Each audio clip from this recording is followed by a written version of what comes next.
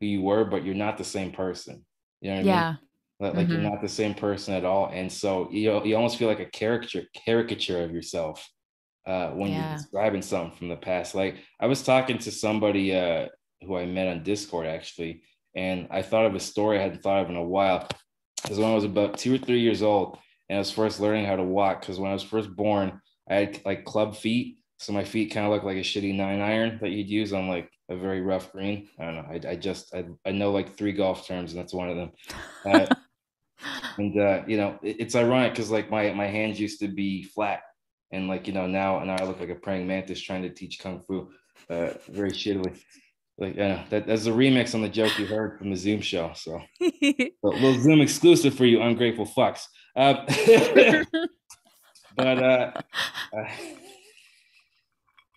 anyway, I know laughing at my own joke is, is so great.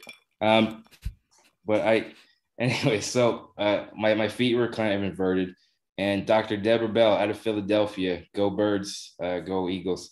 And uh, what she did was when I was first born, she took a rod and like stuck it up my foot just to kind of straighten them out. And they removed a back bone from like where my ankle's supposed to be, like the ankle. Uh, I don't know the exact uh, uh, bone, what it's called, but they Mhm. removed both of those, and my feet were straight. And uh, I kind of had like uh, like Cabbage Patch Kid uh, feet and like hands. They were kind of puffy okay. but like the doctors didn't think I'd be able to walk or be, I guess, a productive member of society, so to speak. Uh, Hmm. You know, in, in short. But uh, when I was three years old, I learned how to walk. Just I just got up and started walking one day, and this this is like a it's like a weird memory I forgot. That's why I brought up the Wolverine thing because if you remember in the movie, he had flashbacks to before he had the adamantium claws put in. This is my nerdy shit, so fucking touche to you. Uh, this is like my little memory because I remember being up, like standing up from my seating position, and started moving. And my grandmother had this bookcase uh, that she'd keep all her old books and like movies in. And I remember going, I guess I went face like head first into it, just smashed like right through it. And you know, he, my mom was freaking out. I think my aunt was there. There's a few members of my family, and uh, there's not one scratch on me, like not a single Wow. scratch.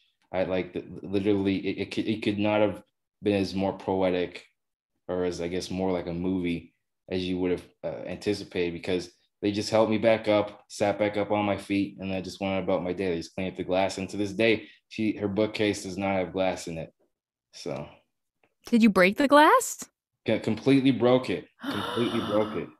Oh my god. like it, it's it it was completely shattered like i don't know uh the pressure point that i hit or, or like where i hit from what i can remember it was kind of in the middle but like i kind of like hit the bottom a little bit so maybe the trajectory of where i i hit you know but it had something to do with i don't know i'm just making shit up at this point i just i remember i remember the feeling and i remember i was up and then i was down there was glass everywhere That's wild that you remember that at age three. I feel like most people's me- first memories aren't that young. But then again, yeah. that's like quite an impression. Like that's a thing to remember, you know? don't ask me who won the world series that year you know like who was in office Well, but- you're three. Yeah. Yeah, yeah, you know, I, I I- imagine if I had like a Mulroney flag. Eh, that's tight. it's in there with my Barney shit. Yeah, but it, I think where I was going with that uh, meandering story, even though you were so captivated, so uh, you know, because it's no, I, I, as a mother of a toddler who has broken glass things very recently, I am quite riveted. Yeah. But yeah, you were talking about like, you know, caricatures of yourself and how like it doesn't even feel like it's you, you know, when you recall these things. yeah, yeah. So like, it, is there a moment in your life that you wrote about specifically like that? Because I, I think I'm gonna write something about that. I, I've taken little bits like that and done little journal entries, but have you used it to maybe spark another idea, or maybe that's a chain reaction to another idea, perhaps? I don't know. I don't know exactly. I mean, I feel like I had such like a basic, easy childhood that there's not Not really a whole fuss? lot. There's no, yeah, breaking a glass cabinet moments that I can think of in my childhood that I could figure out how to write a song about. Um, but I have been recently, I started rereading my childhood journals because I kept a journal from the time that I was in grade two until I started writing songs instead of keeping a journal. So I have like, I don't know how many years that is 12, 10, 10 years of journals to go through.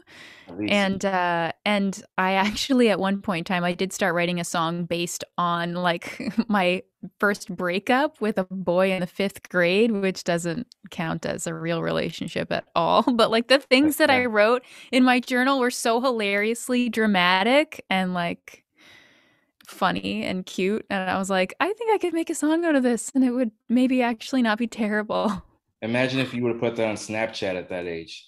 Like imagine that shit. I can't imagine like having that kind of technology as a kid. I would fuck that up so bad.